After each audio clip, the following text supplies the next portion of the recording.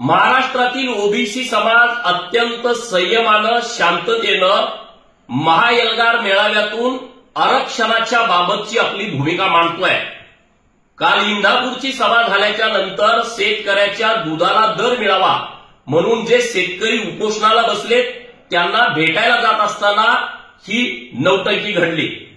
आणि नंतर हे भेकडानी परत नौटंकीबाजी करत माझ्याच कार्यकर्त्यांनी हा प्रकार केलाय असं मीडियामध्ये पसरवलं.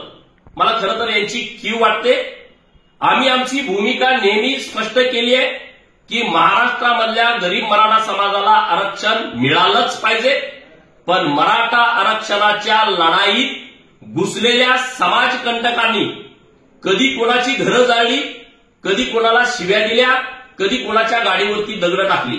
म्हणजे याचा अर्थ असा होतोय याच्यावरून हे स्पष्ट होत आहे की समाजकंटकांना आरक्षणापेक्षा महाराष्ट्रामध्ये अशांतता पसरवायची आहे महाराष्ट्रामध्ये दंगली घडवायची आहे.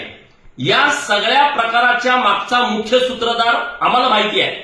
कारण जो खरा मराठा समाजाच्या आरक्षणाचा शत्रू आहे.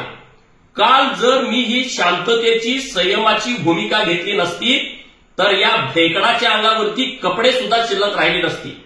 मी महाराष्ट्रातल्या ओबीसी बांधवांना आवाहन करतोय धनगर बांधवांना आवाहन करतोय की आपल्याला ही लढाई शांततेमध्ये लढायची आहे याची प्रतिक्रिया कुठंही हिंसा न करता आपल्याला द्यायची आहे.